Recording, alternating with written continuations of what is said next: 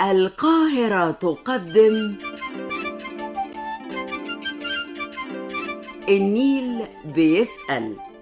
مسابقة يومية على هواء البرنامج العام. مقدمة من إدارة التوعية والإرشاد المائي بوزارة الموارد المائية والري. وفيها النيل بيسأل. وزي كل سنة بنتكلم عن حابي النهر العظيم. وبعد كلامنا يجي سؤالنا واللي يجاوب السؤال يبقى ليه جوائز قيمة. لكن أكبر جايزة هي إننا نحافظ على كل نقطة مية.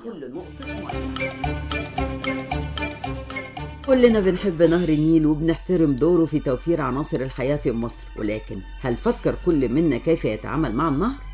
قد يظن سكان المدن أن الريفيين فقط هم الذين يتعاملون مع النيل من خلال الزراعة ولكن ذلك ليس بالدقة الكافية لأن سكان المدن يتعاملون أيضا مع النهر ولو بصورة غير مباشرة. فقطرة الماء التي تنساب من الحنفية أو الصنبور ما هي إلا امتداد للنهر كالشريان الذي يغذي مختلف أماكن الجسد ويستهلك الفرد في مصر من مياه الشرب ثلاثة أضعاف استهلاك المياه في دول أخرى أكثر ثراء بالمياه ويبلغ نصيب الفرد من مياه الشرب في مصر 350 لتر في اليوم.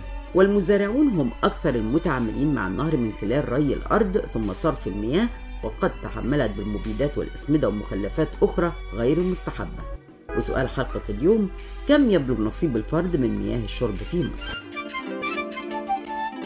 وبكرة سؤال جديد.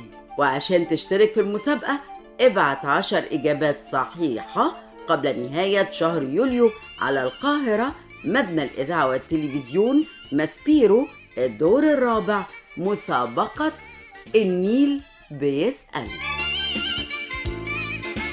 مع تحيات ميرفت خير الله سمر سعيد لطفي سامي الشيمي وأيمن فتاحة